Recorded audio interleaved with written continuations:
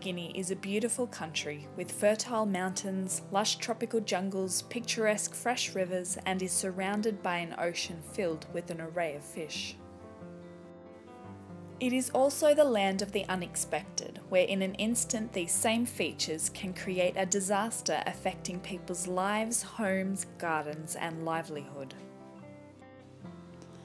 We will now go through the most common hazards in Papua New Guinea, explaining possible consequences and providing simple suggestions to improve your safety in relation to specific hazards.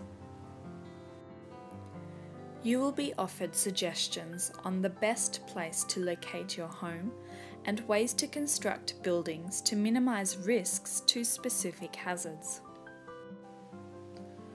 When building your home, you should be aware of hazards that might occur in the area. It is advisable to avoid building in a hazardous area, but if that is not possible, then it is important to construct in a way to minimise the risks. You can also upgrade your existing home or house win to protect it and your family. We will now go through the most important hazards in Papua New Guinea, explaining possible consequences and providing simple suggestions to improve your safety in relation to specific hazards. Cyclones and strong winds.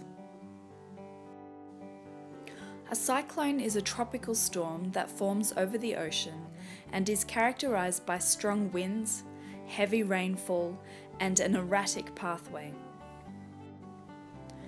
Typically, PNG experiences one major cyclone a year, usually between October and May. Strong winds associated with cyclones are especially dangerous as they pick up and blow about loose objects and can cause substantial damage to buildings and vegetation. To prepare for a cyclone, it is important to minimise the effects of strong winds and also the heavy rainfall that can lead to flooding. Clean up or tie down loose objects from around your home that could blow about by strong winds. Use extra strong binding to secure structural beams in all buildings. Use diagonal bracing on walls for added structural strength. Trim tree branches away from windows and power lines. Clear drains and waterways on the property so that blockages do not cause localised flooding. Regularly repair and maintain your home to eliminate structural weakness that may cause it to be damaged in cyclonic conditions. Identify the safest room in the house and seek shelter there during the storm. In case of flooding, know the safest access route to nearest safe high ground. Prepare an emergency kit for the family, containing a portable radio with spare batteries, water containers, canned food with opener, spare clothes, masking tape for windows, and plastic bags.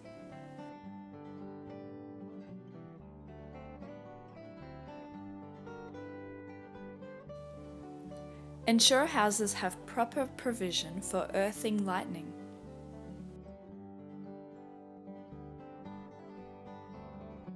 Please take note of these key points. PNG experiences one major cyclone between October and May. Cyclones can cause damage on buildings, loss of life and destruction of the environment. Clean up and tie down loose objects around your home. Ensure compliance with building standards.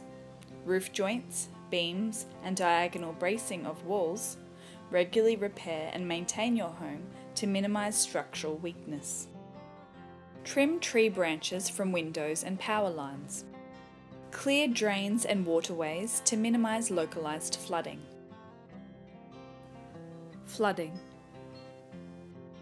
With a high rainfall and steep mountains that shed water quickly, Papua New Guinea is prone to dangerous flooding. As the water tries to make its way from the hillside to the ocean, it collects soil, vegetation, and other debris that can cause much damage. Low lands next to or close to rivers are most likely to suffer flooding. If possible, avoid building houses and planting gardens in floodplains. Buildings should be constructed on higher grounds away from the natural floodplains of the rivers, away from the actual riverbanks, and possibly on stilts or earth mounds to minimise risks. Before constructing, find out the approximate water levels during floods and try to find a location on higher ground, a safe distance from the peak flooding. When constructing your home, consider bracing the walls with diagonal connections within the structure frame to increase the structural resistance. These diagonal bracings will make the building stronger to withstand the force of flood water and reduce the risk of collapse or severe damage of the building. If you live close to a riverbank, planting lines of trees along the riverside will create obstacles to flood water, reducing water speed and force. Although it may not prevent the water from reaching your home, this will help slow down the water, reducing its force of impact over the building and thereby minimising the risk of collapse. Other things that you can do to reduce the risks of flooding.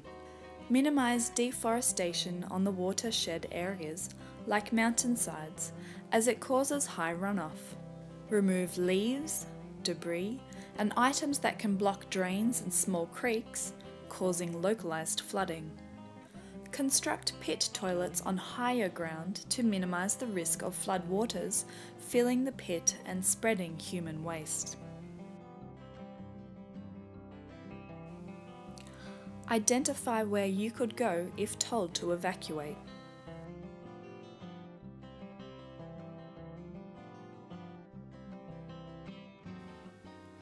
Watch for rising water levels on flood markers in the river. Store chemicals on high shelves to reduce contamination of flood water. Please take note of these key points. Avoid building your house and planting food gardens on floodplains.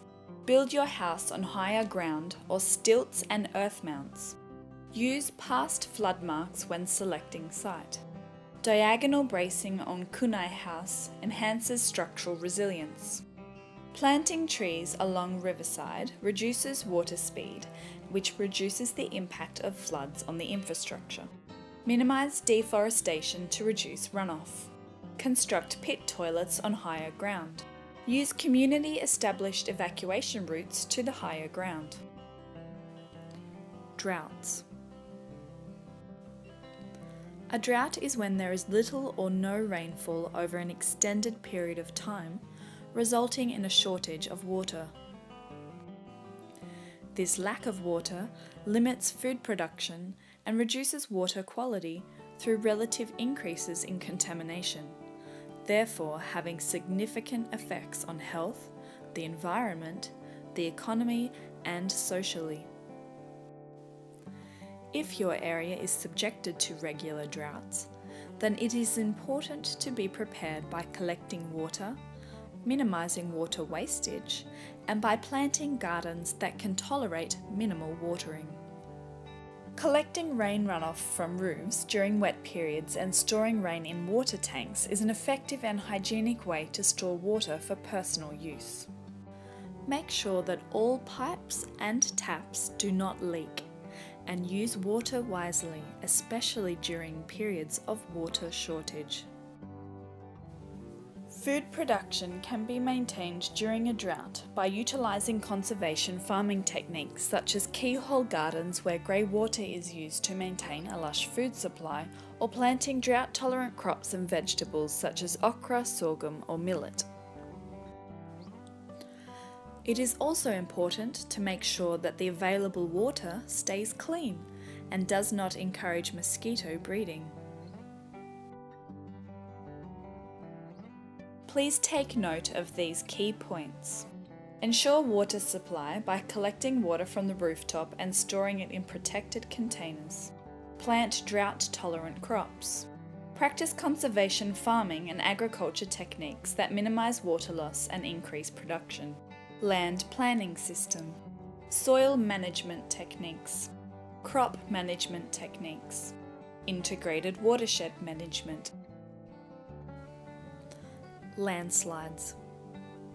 A landslide is the movement of a mass of rock or soil down a slope. They can be caused by earthquakes, excessive rainfall, or through digging or natural erosion at the bottom of the slope and a lack of ground vegetation and trees that help to secure the hill slope in place. Buildings on the immediate top of an unstable mountainside are at risk of collapse during a landslide. It is equally risky for buildings located on the bottom of an unstable slope, as the landslide debris may fall onto the building, burying it or causing it to collapse. When constructing buildings in areas prone to landslides, it is wise to locate them at least 100 metres from the top edge and also the bottom of the mountain. This will create a safe area in between the building and the unstable slope, minimising the risk to the building and the people living in it. If after a heavy rain you suspect a landslide may happen, be alert of any abnormal sound, tilting of trees, or changes to river colour, and be ready to move to a safer area. Make sure everyone in your family knows what to do when a landslide occurs. If you need to evacuate, remember time is short, so save yourself and do not try to save your belongings. Do not enter any damaged buildings. You can help prevent some landslides by ensuring that prone hillsides are covered with vegetation. Replant new trees where trees have been cut down or have died and do not fell trees. You can trim some branches or take off the dead wood, but do not cut the whole tree down or remove the bark of the main trunk. Please take note of these key points. Reduce erosion below slope. Plant trees on slopes. Build houses 100 metres away from the top edge or bottom of unstable slope. Be alert of abnormal sounds, tilting of trees and fences on the slope. Evacuate immediately to establish safe sites. Do not save belongings or enter damaged buildings. Volcanic eruptions. A volcano is an opening in our planet's crust through which magma can get out. Volcanoes take many shapes and sizes, they are not just the typical cone shaped volcano we often see portrayed. Nor are all volcanic eruptions explosive. Volcanoes present many hazards, both from the molten magma, noxious gases, and ash that is expelled during an eruption, and also from other associated effects. When a volcano erupts, you must follow evacuation orders. There will be circumstances where an evacuation is not necessary, but it is still important to follow safety procedures.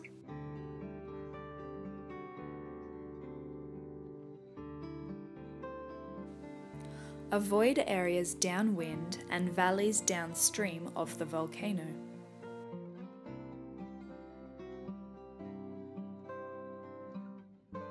If caught indoors, close all windows and doors and bring animals and livestock into closed shelters.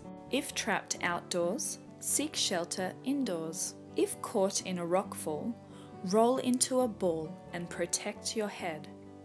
If caught near a stream, be aware of mud flows and move up the slope, especially if you hear the roar of a mud flow.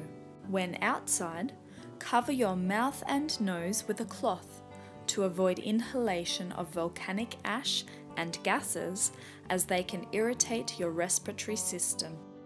Keep your skin covered to avoid irritation from contact with acidic ashfall. Ashfall is very heavy and can cause buildings to collapse, so clear roofs of ashfall if it is safe to do so. Avoid driving in heavy ashfall, as driving will stir up more ash that can clog engines and stall vehicles. An erupting volcano can trigger tsunamis, flash floods, earthquakes, mud flows, and rock falls. The sound of an erupting volcano can be quiet and hissing, or explosive and booming. The loud explosions can be heard hundreds of kilometres away and can cause hearing loss. Please take note of these key points. Follow stipulated evacuation orders during an eruption. Avoid the direction where wind is blowing for possible inhalation of fumes. If you are in the house, close the doors and windows. Animals must be kept in protected shelters. In case of rockfall, roll into a ball and protect your head. Avoid streams and watch for mud flow. Move up the slope when you hear the roar of mud flow. Cover your mouth and nose with a cloth to avoid inhaling ash and gases. Cover your skin to avoid possible acidic ashfall. Ashfall can cause buildings to collapse, Clear roofs when safe. Avoid driving in heavy ashfall. Driving stirs more ash to clog engines and stall your vehicle. Tsunamis.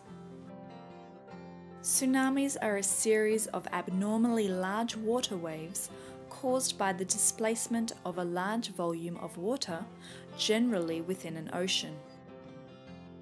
They are not normal tidal waves, but instead caused by earthquakes, volcanic eruptions, landslides, explosions, or meteorites.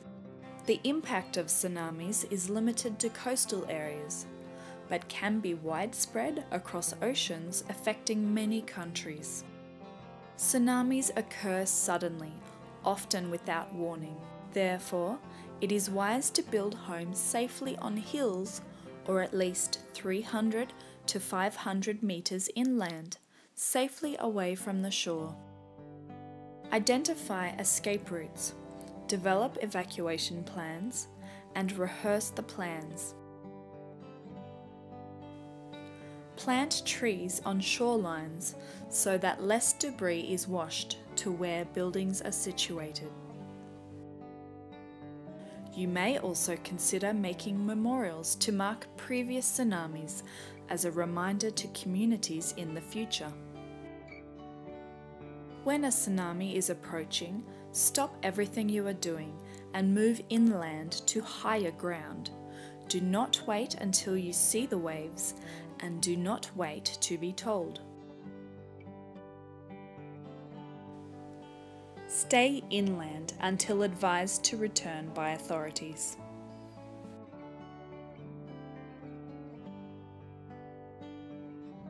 take note of a series of abnormally large water waves caused by the displacement of large oceans of water induced by either earthquakes, volcanic eruptions, landslides. Locate your shelters safely on hills or 300 to 500 metres from the shoreline. Use escape routes and conduct drill to safe sites. Plant trees on the shoreline to reduce the wave impact. Mark memorials to mark previous tsunamis as a reminder to future generations. Stall all activities and move inland to higher ground. Do not wait to see waves and do not wait to be told. Stay inland until advised by authorities to move back. Sea level rise. Sea level rise is primarily due to thermal expansion of ocean water with the melting of glaciers and ice sheets increasingly contributing to the impact. A rise in sea levels will displace the vast majority of people in coastal regions of PNG, necessitating a mass migration. Infrastructures and properties will be threatened and food crops destroyed. Open ocean shorelines and barrier reefs will be affected, as will the supply of fish and other aquatic creatures. If you live close to the coast, then you should consider relocating buildings and infrastructure further inland to a safer area. Planting mangroves and building seawalls along the coastline will provide some short term protection. Instead of making major repairs on infrastructure close to the coastline, such as bridges, water supply, and drainage systems, go the extra effort and place them out of reach of the sea. Please take note of these key points. Plant mangroves and construct seawalls for short-term protection. Use raised gardens like keyhole gardens to protect crops from salination. Preserve food for the future in case of salinization of the soil. Earthquakes. An earthquake is the sudden shaking of the ground caused by movements deep within the Earth's outermost crust. Most earthquakes occur along fault lines when tectonic plates slide past or collide against each other. The main danger during an earthquake is from damaged buildings falling on people. The longer an earthquake lasts, the more extreme the damage. When constructing your home, consider using diagonal bracing within the wall frames as outlined previously. These diagonal bracings will increase the structural resistance of the building. Earthquakes can trigger landslides and tsunamis. They may also damage dam walls, causing flash flooding talk to your family about the safest areas for you to shelter during earthquakes. Also, decide on a place where you would meet in the event that you become separated. When an earthquake strikes, either go immediately to a safe room within a building or a clear area outside.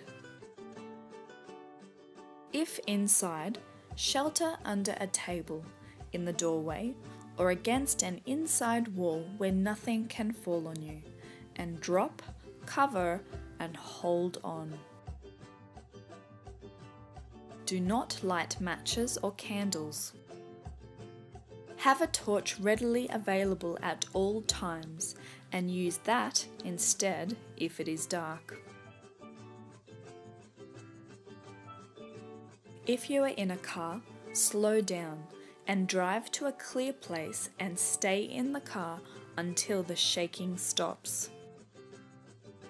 Beware of fallen power lines, damaged roads, bridges, and landslides. After the earthquake, expect aftershocks or smaller earthquakes and continue to take precautions. Check yourself and others for injuries and give first aid for where necessary. Inspect your home for damage and get everyone out if your home is unsafe. If you live along the coast, be alert for news of tsunami warnings.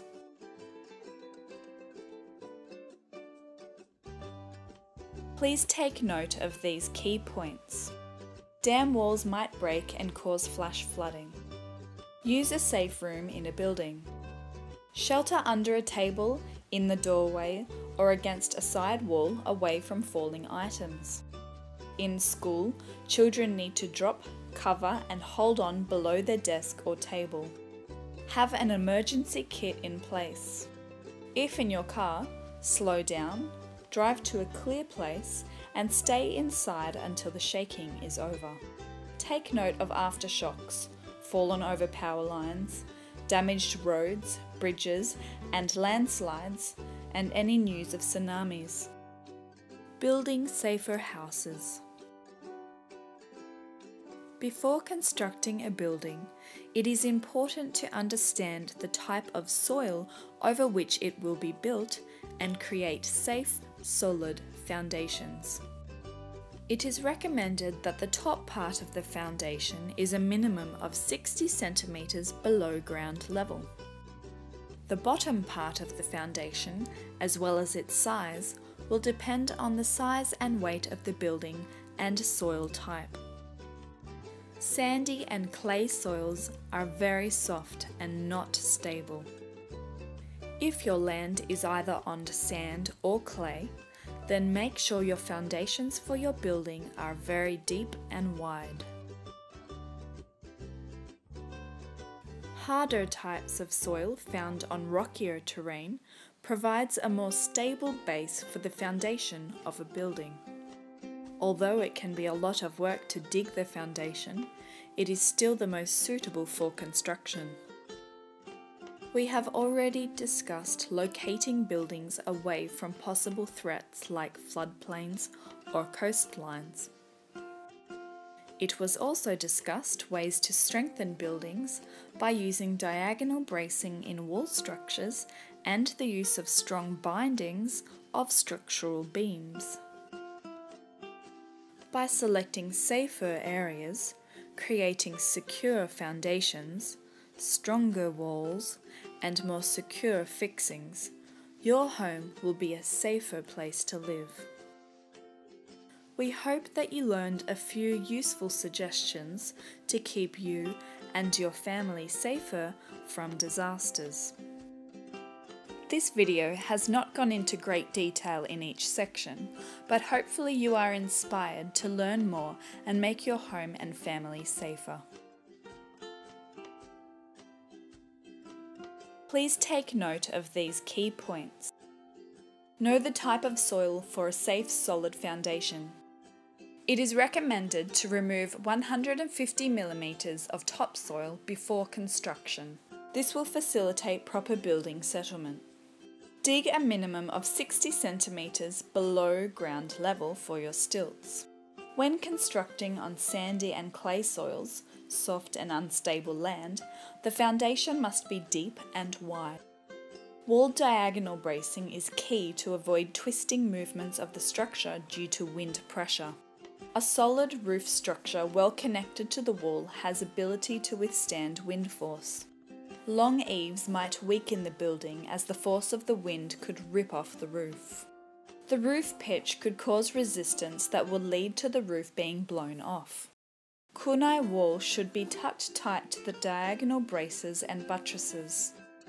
The corner post should be connected to the roof for structural stability.